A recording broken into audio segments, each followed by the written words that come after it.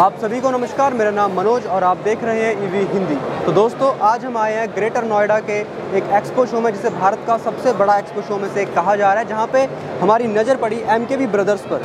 तो हम जानना चाहेंगे इनसे उनके इस इलेक्ट्रिक व्हीकल के बारे में। तो सबसे पहले सर आप मुझे बताइए इसका नाम क्या है? सर इसका नाम हमने रखा है राइनो राइनो राइनो सर। जैसे इसका डिज़ाइन देखिए आप एकदम हैंडल वैंडल इसका low like Harley type design है इसका। जी।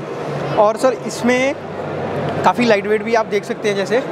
कुछ ज़्यादा मतलब हैवी वेट नहीं रखा। और ये 70 परसेंट मैनुफैक्चर सर हम खुद कर रहे हैं इसका। जी। वायर हार्नेस ये बॉडी वगैरह हो गया।